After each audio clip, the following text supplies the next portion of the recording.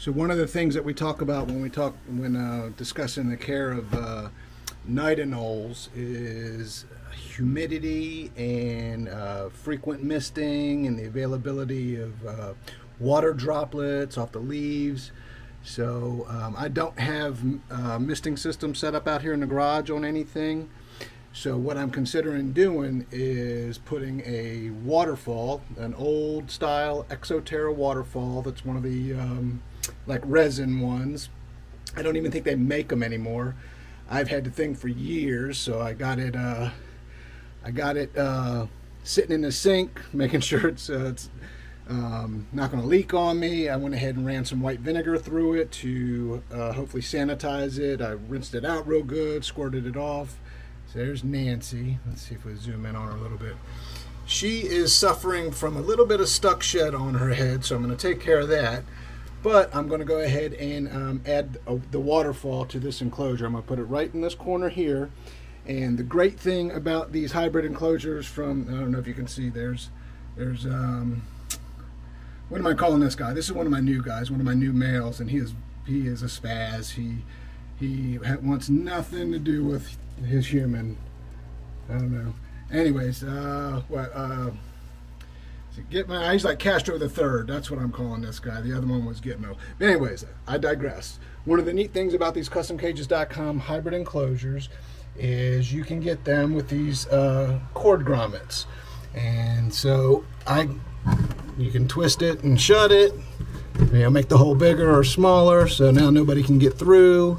And, oops, sorry, I went out of focus there. Let me let's bring this back. There we go. So what I was saying is it's solid now, twist it around. Now there's a hole right here.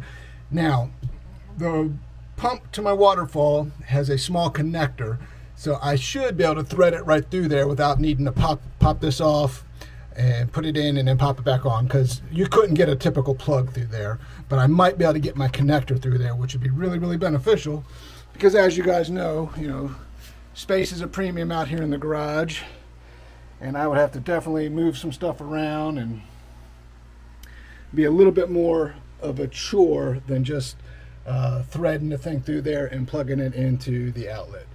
So that's what I'm going to do today. I'm going to go check on the waterfall, make sure it's good to go. I'm going to bring it out here. I'm going to hook it up with the plug. Hopefully I'll be able to do all that stuff one-handed or put my little uh, my little DJI 2 Pocket 2 on a tripod and share with you guys setting my waterfall out here for my pair of Knight Anoles in their customcages.com H2 enclosure. So I'll be right back. All right, working in my cramped quarters here. Hopefully I don't break myself or anything else. And you guys hear profanity, I don't want that to happen. But uh, I gotta get around my wrap and see if I can't thread this through. Yay, it worked. Yeah, I just yayed like a little girl, but that's okay. When the plan comes together, now I need to figure out which outlet I can use. Should I use, I think I'm going to use the strip, the power strip. Okay. Power to that. Let's try not to spill any water on it. Okay. So what I had to do was slide myself back through there, get behind the enclosure, and thread it through. Like I said, if I was actually trying to get a plug through there, uh, an actual plug, I would have to pop the uh, cord grommet off. But as it stands, I can twist it and close that hole up so just like that.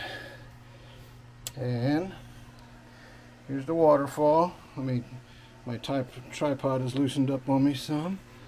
So let's see if I have the corner. Alright.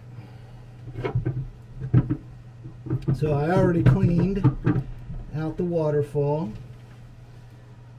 and it is ready to go. So let's make sure she's going to fit in here. Yep.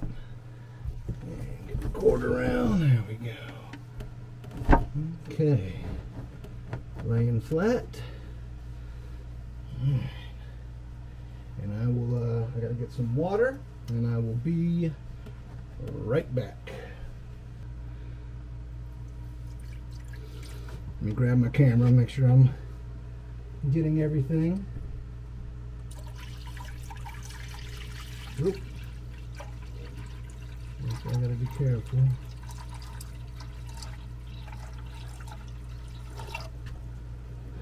Once I get it plugged up, I'm hoping this larger um, female side of this will fit through there. I think it will. Okay, we have water. Let's see. Yes, because I don't want this connection to get wet. Obviously, if I'm misting off in here or God forbid I have a leak. Okay. So now I'm going to thread. Ooh, it's cramped. Thread this all back through behind the enclosure. At least that's the idea. Come on. You can do it. Keep going. Let's see.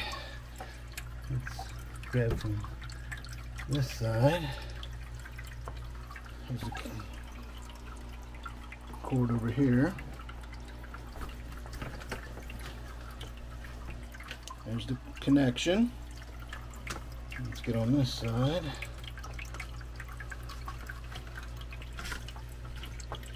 All right.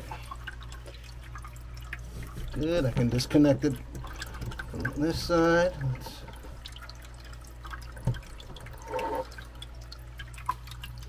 close the hole up. Let's go ahead and get this waterfall together the way it's supposed to go. And this model was designed to have a fogger down in this little compartment right in there. I never did that. So there we go. So, you know, uh, it's moving water. Uh, we'll keep an eye on them, see if we catch them drinking, but it should help with the humidity a little bit, even though I do have a screen top. But just trying something new. Um, again, the Knight Anoles, and uh, let's see if we can get a glimpse of her head. She's uh, got some stuck shed there. Let me see if I can get old Castro to come around without getting bit. There you go. See, he is not happy. He is uh, very dark. Doesn't appreciate being messed with. But look at that beautiful pink dewlap. Easy, buddy. Easy. That is what I find so spectacular about this species, that beautiful pink dewlap. Alright, I'm not going to stress you out. I'll leave you. Oh, easy, big guy. I'll leave you be. So the versatility of these hybrid enclosures, I can't speak highly enough of them. Um, cord grommet, you can include that with your build. And uh, whatever kind of backgrounds, whatever kind of uh, materials for panels, for the bottom, the floor, the top. But just adding this waterfall to this one, hopefully it helps with the shedding issues.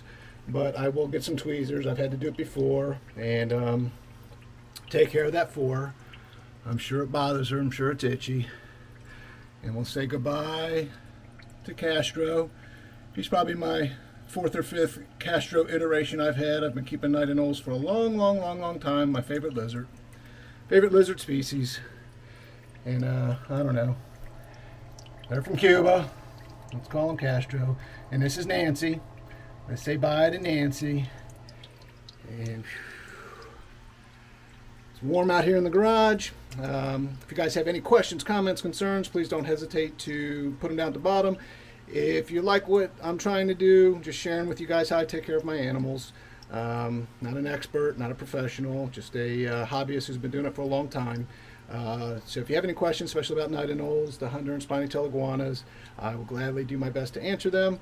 But, uh, you know, hit that bell, give me a subscribe, watch the videos all the way through, trying to get my uh, watch hours up. Um, You know, obviously you don't see any ads on my channel yet, so I got over 2,000 subscribers, but uh, just don't get a lot of watch time. Maybe I'm boring. I don't know. Anyways, I'm gonna keep doing it. I have fun doing it. Um, so until next time, you guys take care. Thanks.